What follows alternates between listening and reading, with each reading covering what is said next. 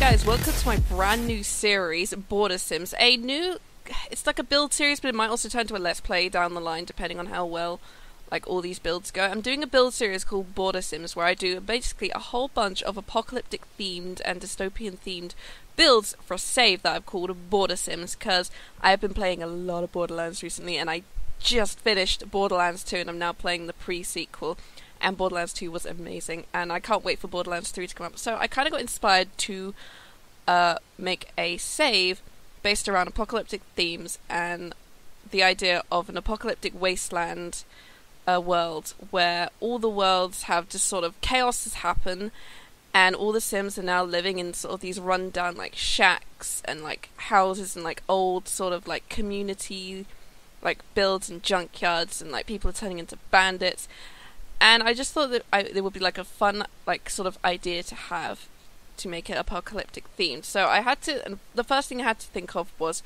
first off, what type of things am I going to build, and also how did the world come the way it is. So my first build I thought I'd do is an old auto repair shop. It was going to be a gas station originally, but uh, looking at some builds, I looked at some gas station builds on the gallery, and some of them were pretty good. And as I was building this, I was like, this isn't really turning into a gas station, but more looks like a sort of mechanics auto repair shop where you brought cars to be built. And because we now have those cool debug items from the Strangeville patch update, uh, which gave us like the cacti and the trees and the rocks and some cars, I thought it'd be fun to make an auto repair shop that some people have lived in. So the plot basically for Border Sims is and I'm using the Strangeville idea for this because I figured this actually worked quite well because there was already like an underlying plot, was that the mother plant came down and basically invaded Strangeville. The plants got everywhere, and no one could stop the mother plant. Anyone who tried to stop the mother plant with vaccines and stuff just got eaten, essentially. So you know, kind of kind of grimdark. And what happened is basically people started leaving Strangeville. The only people who ended up staying in Strangeville were people who who had already got possessed and didn't want to leave and people who just you know were scavers and couldn't get out of the town fast enough because the town got quarantined off almost. Because uh, I say almost because you can't really quarantine Sims to worlds in in The Sims 4, and you can see I'm making a sort of I'm turning these HVACs into cinder blocks to look like the car is sitting on top of it while it was being worked on, which I thought was pretty neat. And we got these tires as well, and the RVs, which I quite like. So the plot is is that Strangerville kind of had the invasion of the mother plant because uh, people started leaving Strangerville and the surrounding towns, they all started going down to Oasis Springs, which I like to head headcanon as being sort of near, like on the way, like up to Del Sol Valley almost. So you've got like, because it's the both density areas, and you've got this sort of idea of like people were coming in straight into Oasis Springs, and there was just not enough space for these people, and just chaos just started to happen. There was rioting, there was violence, there was looting, and then the science lab got broken into, and then just chaos just formed, and then it was sort of like a cataclysmic sort of like pile of House of cards dominoes thing, where everything just started going down. And San Myshuno was lucky in this, in that they were able to quarantine off the city. So San Myshuno is going to be like this sort of ultra cool, dystopic, totalitarian cityscape. So I'm gonna have to do lots of uh, like um, oh god, futuristic kind of like themes for that. I've also gonna be using CC uh, in this build as well. And anytime I use CC in a build, I will link the CC in the description. So if you want to download the build, you will be able to download the CC with it, so it won't be missing from the build once you get it. So there's no CC in this build because I thought I'd start off with the auto repair shop, which will have like there's some beds and stuff, and it looks like there's people who moved in and they figured out what to do. They sort of figured out how to make this place work and turn it into a sort of livable area, but while still keeping that auto repair shop feeling. And so this is sort of like I made it look like um, you know, a typical kind of petrol station.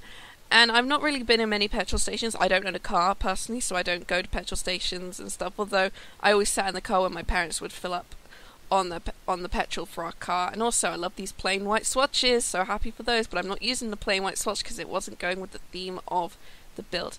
So I'm making a sort of like little area where you'd pay for, you know, you pay to get your car repaired. The car would go in there, you get billed, and you could buy like a snack or a drink or like a trinket. That'd be the kind of thing. And then I made it so they have like a little bathroom in there. Like the small bathroom was kind of big, and there'd be like I know storage cabinets in there, but they removed it and put in like a DIY uh, bathtub instead because these people were like we're going to be living here now, so we need to make this livable. Essentially, so we got like you, you can kind of tell it's like kind of a community bathroom area with like the hand sanitizer and the paper dispenser, and then I sort of turned this area into like a small um like auto repair shop that they kind of cleared out. There's still some clutter in there, but ultimately it still looks fine. They could turn it into a livable area, and I love these garage um, doors. I thought these were perfect to sort of have it. So they're closed off now, but they could use to open them up and I thought that was pretty cool. And I made sure to double it on either on both sides, so it didn't have just the wall there, and it actually looked like garage doors. And then I just put in a bunch of get to work clutter stuff, and I put the counters in. But the problem I'm having currently with all my clutter is a lot of the stuff that comes with the game and the expansion packs is you can't put them on the shelves. Very few clutter decals can go on the shelves, which I'm kind of hoping the devs will do something with that because I love putting stuff on shelves. Like, what's the point of having shelves if you can't put things on them? I know collectibles can go on them, but I feel like that's the only thing that can really go on shelves. So I sort of made this sort of like payment area here, which sort of turned into like just an area where they just kept a whole bunch of like, you know, clutter and stuff and like small personal items whilst they were living in this cool little auto repair shop. And I tried to make it, you know, also run down as well. There's cracks in the walls, wallpaper's coming off. Uh, also, those stains from um, Strangeville. Uh, there is like a sort of brownish one, brownish red one, which I thought would make good for the auto repair shop area, where it looks like the. Uh, so it looks like the walls have rusted a bit from water damage, which I thought was pretty good. Maybe because I made it, I put it on like under the window, so it looks like the water was leaking in and rusting, rusting out the walls. And I love these. I love these cars. You can see me here just trying to make it so it's roughly the same height as the other one, and then put the HVAC cinder blocks down so it's got somewhere to so it looks like they were being held up because they were being worked on because these were just car parts that someone was maybe building a car for someone here, and they were basically like find parts and just slowly put it together over time. Which I thought was pretty good. And you gotta have the bathtub as well. And I love the fact that you could put the tires in because I thought it'd be fun to stack the tires up.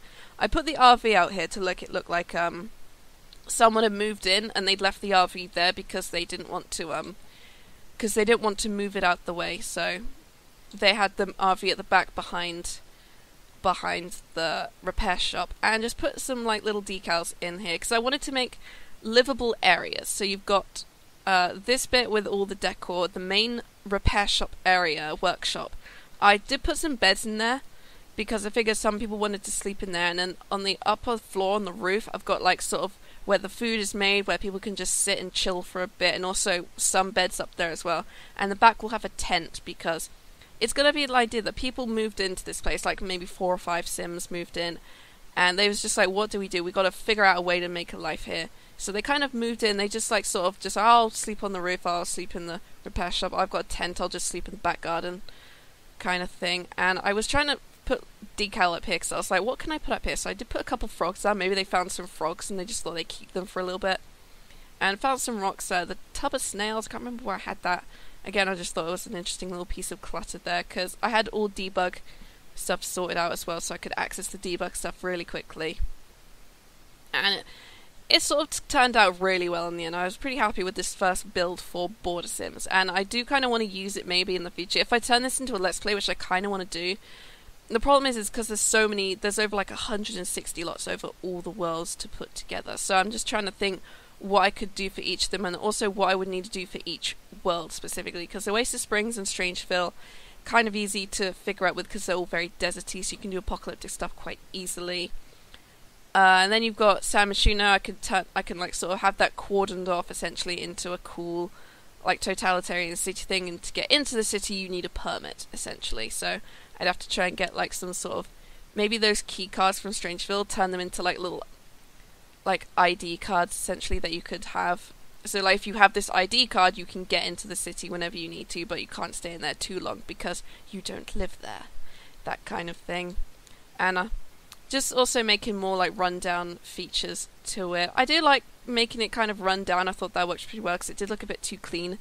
And then just trying to put in like some of these like military beds and maybe the camping, the camping beds. Like you know you can't really afford luxuries now in, in the world that's kind of gone downhill because of a chaotic alien invasion kind of thing, and it's just sort of spiraled down from there. But I did like the idea of using the top of that actually.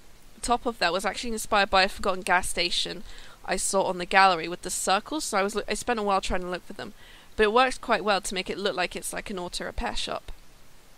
And I just terrain painted the floor because I love terrain painting, just to make the ground look kind of dirty and the grass has died a little bit.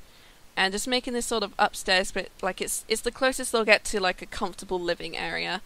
And I don't think it rains very much in Oasis Springs. They don't really have much to worry about in terms of rain because it's mostly sunny all the time there, which is pretty good. So it makes the summer really hard to live with. So I put a little chess like play, board out in the back. Maybe there's something they can just play chess with that they found maybe in the basement somewhere while out like scavenging. I had to move things around. I did put a laptop and a desk in here. Maybe someone had like found their own port, like laptop that they brought with them after the whole chaos started to fall through. So I thought that'd be pretty interesting now because you need some form of technology. And I was also trying to think around Borderlands and what Pandora looks like in Borderlands 2 because there's a lot of um, like there's a lot of technological stuff you could use, but also the place is kind of grungy and run down, apocalyptic looking anyway. But that's just the way the the world works. I also did add a little bit more to the roof up here, just so there was a bit more space, and also so my uh, bug device had a roof over it so it wouldn't get wet in case it did rain. So that was why I did that. And I put a journal down in case that belonged to someone where they write in their journal about how they're living in this post apocalyptic kind of world. And I thought about a microwave, but I decided against it. But I added also like another a fireplace because I got like a small fire on the roof and also fire in the back garden as well. And I think I called this I called this the Springs Auto Repair Shop. I did also add these uh, cardboard things down because that was that, that looked quite good and also kind of made it run down as well. I added those um, parking stops as well and just some graffiti to make it look a little bit more run down. Like this place kind of fell to disrepair, it kind of got abandoned, and then people just sort of gave up on it, and then some people moved in and turned it into their own little, the closest they could get to a home. And so I, I enjoyed I enjoyed building this, and I enjoy this new theme. And if you could notice then while I was scanning through all my wall decals, you notice I have some Borderlands wall stickers, uh, which are all the name of um, specific companies that are featured in the game. I also have a, I do have actually a bunch of Borderlands CC. I've got an Echo recorder, which I uh, managed to find. I also have Handsome Jack's outfit. I don't have his skin overlay because it looks really weird on my Sims, so, and I'm not very good at designing Jack, so I just figured just to not have the overlays because they look cute, but they kind of don't match the aesthetic of the game. But the uh, the echo and some of the like decorations I found worked pretty well, and also gotta add in gotta add in some of that desert, that desert um uh, decoration because this is Oasis Springs. Just adding in some deserts, some plants, some cacti and rocks to make it look a little more lived in, and these debug flowers. These are really interesting. I didn't even know these had been added into the game, but I love them and they look really cool because they kind of look like these just overgrown flowers that just grow in these like sort of wild weeded areas which I thought was pretty good. And add some rocks as well for effect. So this is uh, the auto repair shop. It looks pretty good overall. It's not up on the gallery yet. As soon as uh, this video has gone up, I might wait a couple days and then just put it up on the gallery because I need to uh, just check um check the the backstory on it as well as uh, tags and tags and stuff and just any problems with it before it goes up in case I need to put some uh just need to debug some things or move some things around or maybe add some extra things in. But it looks really good. And one thing I do want to add is if you want to download these, if there is CC, I will put the link in the description so you can download the CC before you download the lot. But if there isn't CC, that's fine. But all my builds are going to be under the hashtag Border Sims because that's the uh, name of the series, and I thought that would actually be a pretty easy. Uh, hashtag to work with, especially because I don't have much space for hashtags after writing all the backstories out. So that was uh, one idea for this. So we have the Springs Auto Repair Shop is the name of this. It was initially called the Old Auto Repair Shop, but Springs sounded a bit better because it's set in Oasis Springs. And we got some pictures coming up now. It looks really good. I like the way this turned out, and I hope you guys will enjoy these. And if you have ideas for me on what builds you want me to do, get, let me know in the comments, and I'll try and get to work on them. And also, what kind of Sims do you think would live in this sort of like Borderlands that's post-apocalyptic scenario? What kind of personalities would they have? What jobs would they have? What would they do in their spare time? Like, who would they live with? And just let me know little things like that, and I can start putting together this save. And then I think I might put the save out there. uh, which could be kind of fun. But I might turn this into a series later down the line as I get more and more builds done, and maybe once the save is finished, I'll turn it into a proper Let's Play series. So, thank you guys so much for watching me play my new Border Sims series, watching me build these cooler post-apocalyptic themes, and let me know in the comments if you like them, and I'll see you in the next video. Bye bye now.